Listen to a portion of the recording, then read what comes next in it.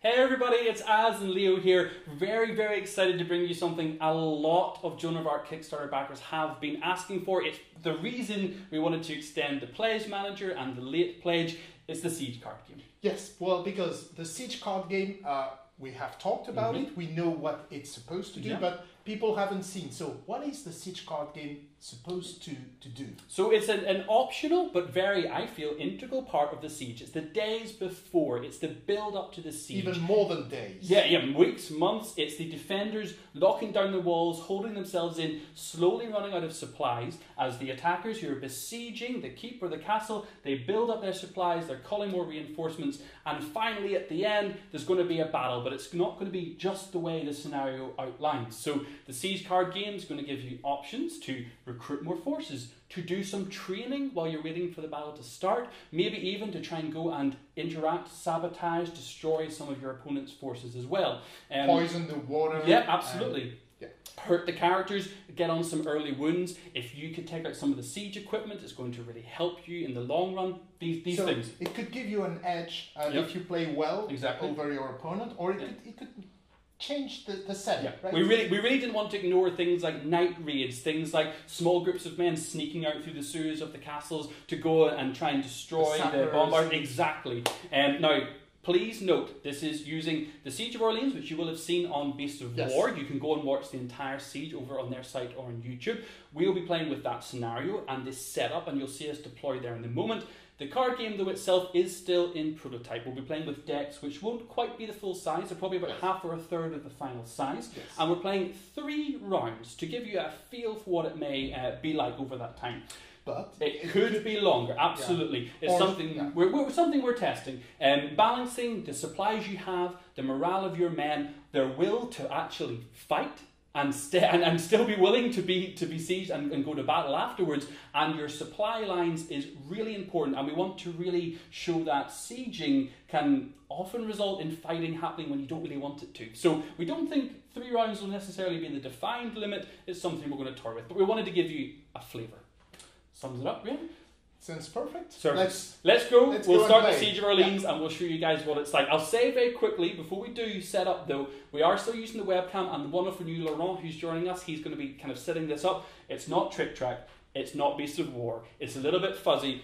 And you may see my belly uh, a little bit more than I would like you to. Um, so bear with us, but in the future we'll be doing loads more videos like this and getting the quality right where we want it to be because it, it means the world to us.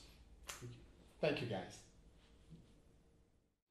Okay, guys, so we've got the board, we have gone ahead and we have deployed as if we were about to play the Siege. And now this is where we're going to introduce the Siege card game, as we're currently calling it Element. As a quick reminder, we've already said it, but it is a prototype. We're playing with decks that are going to be smaller than your final version, and we're going to play just three rounds, but that could differ uh, in the final version. I start as the English defender with 12 supply, 12 morale. Leo, you start with Six, supply uh, and six morale. Six supply, six morale. There we go. Very important to note that supply and morale are really important at the moment in prototyping for two different reasons. Your morale, whoever has the most at the end of the, the siege card game, will get an extra grey normal activation order.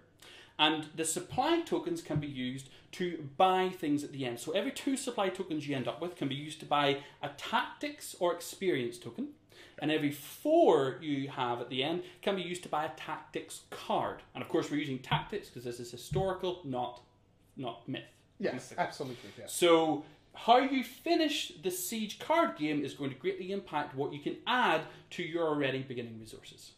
And this, as it stands, is, is how we're playing it, but it will ebb and flow and change. We've been enjoying everything we've done so far, but Yeah. shall we get into it? Yes. You could you just explain what why we are using those two? Uh, Ah, the colours? well, yeah. Well, those two uh, resources and why it's because when when when you finish with the most Yep. morale and with the most supply, uh, it can do something, right? Well, what it simulates. Ah, well, your morale is essentially your, your troops, your willingness to fight, and how eager they are to get to battle. So, uh, an army with more morale is going to be more energized to go and get them. So, that, that's giving you that extra You know, I wanted a This- little yeah, bit yeah. more of. Uh, And, Yeah. and yeah, your supply, these are your foods, these are your resources, your weapons, and what we'll see at the end of each round is the supply will be ebbing slowly away from the forces defending and increasing as the, the siege wears on and more support arrives for the attacking, the besieging army. Yeah, that's good. So four, we're going to play three rounds. In a round, the first thing we do is we draw five cards, and from those five cards, we choose three to keep and two to simply discard. Now, designated this is the, the specific scenario of this one, the Siege of Orleans, specifies that the English are the starting players. So for the Siege card game, that is also what the case is. So I know that my cards will be starting first. So I'm going to discard this one. And oh, actually, yes, I'm going to discard this one and this one. Now, what I do with my three remaining cards is I'm going to move over here to essentially what we're using as our play area, where our player boards are, and I put them down in the order one to three that I want to have them revealed. So the first one I put in the left, followed by the second, and followed by the third. Now, as Leo's just making his decision as well, move this back a second. As Leo's making his decision as well, we will just mention before we start to flip these over that the cards do have a cost associated with them that usually will come from your supply. So you do have to decide how much supply you're going to dedicate to playing cards, because by all means you could play cheaper cards if you wanted, but then you're not going to gain as large a benefit. So we're ready to go. You've got your three cards ready. You've discarded Yes, your two. yes, I did. So as the first player, um, as the first player, I'm going to basically take the first card and I'm going to flip it over, and this one is called Secret Plan. So it costs me two supply as dictated by this. So I go from 12 to 10 supply. I draw three War Council cards. So these are cards taken from over here that would usually go into the river. These, these, these are the cards that you, when you're Yeah. playing the game, would go into the river and you would choose one of. I get to look and keep one of them. And then during the first round of the War Council phase, I may play one of these instead of choosing the river. So I'm going to grab this one, and the other two I will discard away. So that's increasing my strategic options immediately. So, and this is a secret plan, Secret plan, exactly which right. means that one of your guys. Has gone ahead. He's gone to do a bit of a, a bit of. Yeah. I'm about to say sabotage. Sabotage is wrong subterfuge. He's he's yeah he's conniving and working away so I can have something you don't know anything about. Okay, so yeah, these are uh, the the English. Uh, we we we have a, an expression for them. Well, we had an expression for the English. You're playing the English, right? Yes, yes. It's perfidious Albion, Okay. Which Yeah. means which means uh, Albion is the name for the English, Okay. and perfidious means that they are treacherous, that they are always Ah, scheming, okay, and okay. and so Yeah, This- makes sense. okay. So So it passes to you because Yeah. we alternate, and you reveal your first card. yes, my first card is imposed labor. Okay, so you're actually going to spend three morale Yes. to gain three support. Yes. That sounds like something you would do. You're whipping people, working them to the bone, giving them no Yes. sleep, no rest, But now I've got much more support to play with. Yes. But you've you've you've grossly taken away your morale, meaning more likely that I might end up with the most at the end for an extra activation. So Yeah, but I, I want I want some. my Supply. second card then is sabotage. Oh. Uh, this costs X supply. So I may choose uh, for each supply I spend up to two to do this. So I'm going to spend two. And the reason I'm spending two is I get to designate one siege unit. So I have a number of choices for you from your cards. Obviously, we have the battering ram, we have the bombard, we have the word I can't say. Culvery. That's the one. um, and have think, a, yeah a second one. Yeah. yeah, so I think uh, I'm going to designate the bombard. Yeah, which I'm is go- my strongest one. Yeah, I've spent two supply, which means I get to roll two red dice, and if I manage to get uh, a hit, a, a kill, a sword, which is two of, and a six-sided dice, I'll inflict a wound to it. Okay. So, but this is me sneaking out at night when you're sleeping and trying to break the wheels off your bombard. No, come No, on, no, nothing, no, no, no. nothing at all. A shield and a disrupt, so no. That's okay. It was worth the risk uh, to potentially take out because your bombard. Um, how many wounds did you? Oh, your bombard only has two wounds. Yes. So yes, that I, I'm happy. It was worth the risk. Okay, Okay, mine, mine. So what is what do we have here? Harassment. Yeah. Yeah, you know, after slavering, now it's harassment. After. so I designate two wall, gate, or building elements, Mm-hmm.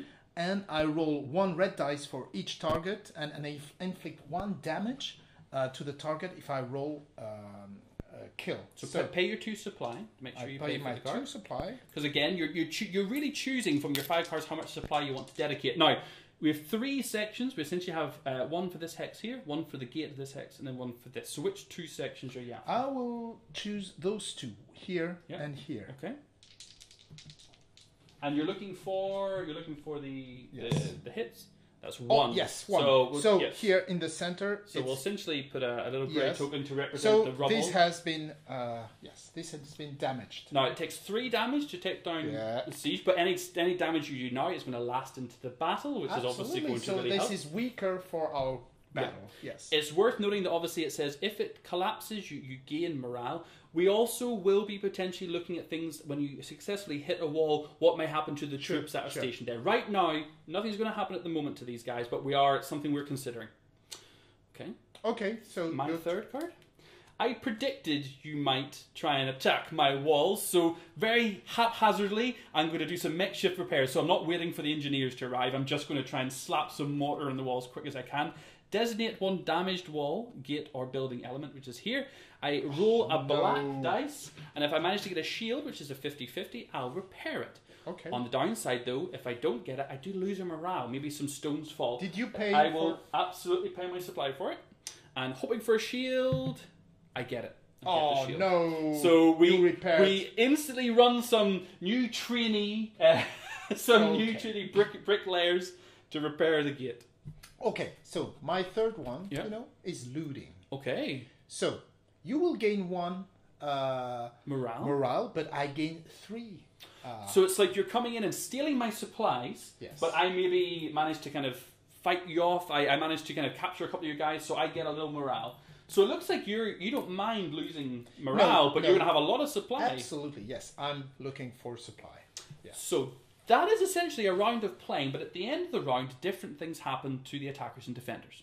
So for the attackers, you gain a supply because you're essentially having more troops arrive to back you up the longer this goes on, and I lose a morale. Now, obviously, this is because you started with six of each. I started with 12 of each because I've stocked up with food and supplies and weapons. I'm prepared to defend, whereas you're having to wait for more troops to arrive. So, actually, yeah, that's pretty bad. I've lost a lot of supply in this round, so let's get rid of these.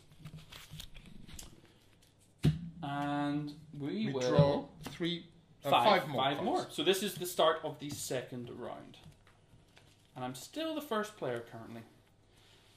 Oof. Okay, that's definitely staying. I like this. Um, I am going to. No, I don't think I can risk that one. Oh man, I'm going to. Yeah. And oh no, maybe I can risk that one. Yeah, think. Yeah, this is tricky. It, there's, a, there's a nice balance of trying to predict what your opponent's going to do. And when you think about sieging, it's like, am I going to put men on guard at night, or am I going to let them sleep so they're rested and they have morale, or am I going to send them out to scout and try and sabotage things? You've got a, a kind of flexibility that we're trying to replicate in the cards, and the decks will be two or maybe even three times the size of this now, with even more variety in the cards. So um, at this stage, these are still quite basic.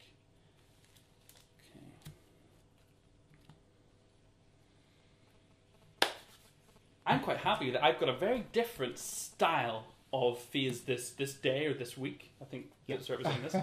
Okay, ready? Yes, Ready. ready. So my first card is Traitor. So play this card first. I must play this as my first of my three. And once during this round, I may, if I want to, spend two supply to sc- uh, discard an enemy siege card when your opponent reveals it. So I'm preparing for the worst. And if I think you're going to do something traitorous, horrible, I'll basically grab one of your men, have him turncoat to my side, and stop what you were doing. Oh, okay. Well, let's see what I was planning. I'm planning for supply line. Okay. It's permanent card, so Yeah. it can Stay here, okay? if I want to, and I gain one supply. And at the start of each remaining round, Mhm. I will uh, gain one supply. Oh, nice, nice. So yes, if you were going for a longer, you wanted So, to draw it out. Do that you is- want to? No, no, I'll let that go. You let this yeah, one? That's Okay. not scary enough for me. Okay. So my next one is rationing. I'm going to Oh. spend uh, some of my morale, unfortunately, but I'll hold on because I depress people. But I hold on to my supply, so I get a little bit of supply back to try and even us up a little. So that leaves me on 11 morale still and nine supply. Okay. Bombardment. Do you know what? I'm just going to say it right now before you go any further. oh no. Yep. This is a three supply card that potentially damages three buildings. I am declaring that your head engineer who's about to bombard me is turning traitor, and I'm going to pay two of my supply to cancel that card. Okay. Okay. Yeah. So I was about to ca- to to bombard you, but Nope, there was a traitor. nope. I didn't manage to, to take out your bombard, but I managed to have a drink with the guy that operates it, and I know his sister, and she, she likes me, so he decided not to bombard me tonight. Okay. Okay. Fair enough. So my third card. And again, I'm playing a more defensive role, although I'm now realizing I might be leaving myself short in supplies. For three supply, artillery training, I'm going to designate one of my siege units, and if they don't already have a training token, they gain essentially what will be a black dice worth of attack in the future. So I have up here two culverines. I'm going to designate this one, and I'm going to, again, I have the card, of course, and I'm going to simply, for now, just put this black dice with it to remember that it has an extra black dice, meaning it's three uh, yellow and a black in attack now. Okay. I'm taking time to, to prepare. Okay. Okay. Okay. So my last card Mhm. is harassment. So Okay. this one. Another one, yeah, another offensive wall destroying. So this time I designate two wall gate or Mhm. building, and I will roll for each. So it's not as strong as the other one, Yeah. but it only Yeah. costs me Two, two yeah. supplies. So do one at a time. Which two? Which two do you want to designate? Uh, well, the same as last So time. here and here. So do this one first, just to keep us right. Nope. Nope. And then the gate.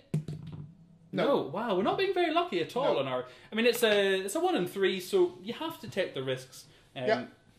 Okay, that's essentially round two, which means again I'm going to lose morale as I continue to be besieged, and you're going to gain a supply as more reinforcements arrive.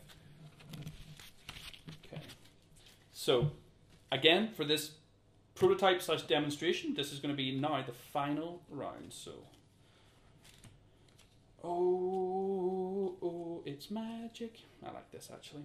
So this is where you really have to think. I know every two two supply I have left is going to be a tactics token or experience token, Oh, and every four supply. I wanted to leave this one here. Absolutely. Right. Okay. It's uh, I forgot. Sorry. No, no, perfect. Um, and every four supply you have at the end is worth a tactics card. I feel like I should win the morale because right now I'm on ten versus three, so this one's going to stay. Oh man. Yeah. Do you know what? I think this one will be really cool. I think. Oh yeah, I'm being. I'm not sure if this is the best strategic decision, but I have a plan that feels awesome. I feel like my army are behind the wall, preparing, hacking and slashing each other, not taking time to rest, but taking time to train. I feel like that's Okay. thematically the way my army's going to go. Okay? Yeah. Ready to go. So again, I'm still the first player currently. It could have been stolen during this siege card game, but it hasn't as of yet. My first card is Imposed Labor. I will give up three of my morale, leaving me on seven, and grab myself three supply, putting me up to seven. So I've gone from 12 12 to 7 7 and managed to upgrade a unit and keep my walls repaired, so it's been okay. So uh, supply line. So I More gave- supplies come in. Yeah. Another supply for you. Yeah. I will carry on. So I have reinforcements. Here they come. So this is why I wanted to get a bit of supply. Reinforcements card lets me spend one to gain one of the following units. So pikemen, um, I could have this one. I can't say Almagraves, uh, bowmen, militia. So these are quite basic, simple troops. And if I get the option, I can also spend two supply to gain sergeant of arms, or because I'm English, some bowmen. So I'm actually going to spend three, which is going to give me a full unit of bowmen and a, and the one a, a unit of bowmen militia. So I'm adding to the siege scenario itself, the existing units you start with, two extra units. Yeah. By playing the cards in this way, I'm leaving myself a little bit short, but I now have two more units of bowmen. If my walls hold, then that might really pay off. Okay. Let's see. My second one Mhm. is Rain of Rocks. Okay. I designate just one. It only costs me one. Okay. So I will You really, you really want to hurt the walls. Yeah. That was really okay. Yeah. I will use. I will choose the center. Where yeah, the, the center. gate. Okay, so you're, he's gonna. Oh, you've No. not had any luck at all. Well, just once, but you could repair it. I. The final final card for me then. Oh, let me get this. Is heroic training. This is going to cost me three supply, leaving me with only one supply. Designate one of your characters. If this unit has no training token, the unit gains plus one black dice in attack. Down the back, Gilliam de Mullins. Yeah. I am going to take him from just a single red dice in attack to a red and a black dice in attack. Okay. He is ready to go. Okay. So my last Mhm. card is reinforcement two. So I Oh, was lucky. you did I re- got yeah. it. Yes, I got it. So I can get with one with with one blue. Mhm. I could have pikeman, Yeah. armor graves, or bowman militia, and with two I could have sergeant arms, crossbowman, or bowman. Well, crossbowman for the French. for you, yeah. yeah. So I can have as many as I want. No, essentially, you do you buy this one once and this one once at the moment. Okay, it's so I will one. I will get uh, one bowman Yeah. militia, and I will take uh, one crossbowman. So three supply in total. Yes, it's worth noting that we, will have some cards that will have either or choices to give you a bit more versatility, and some cards which are straight up you can do one or two actions off the back. And again, we'll be kind of fine tuning that over the over the next couple of weeks. Okay. Yeah. So um, we don't have to do anything further at the end of this round because this essentially ends the siege card game. But what we then have is the opportunity to have these extra effects happen as a result of everything we've done. So I have seven morale. I have three. So this means I am going to get an extra activation at the start because my guys are more willing to fight. They're more ready. They, they've been well fed. They're just they're feeling better. So that activation cube represents that But I have one, two, three, four, five, six, seven, eight. Supply to my one supply. I could not have held out much longer. Um, so you have the option for every two supply you spend, you can get a tactics token or an experience token, and for every four you spend, you'll get a tactics card. Okay, so I will have Mhm. one tactic card, Yeah. which is go, interesting. yeah. So it will, and um, I will have one myth, uh, one tactics, Yes. and one experience.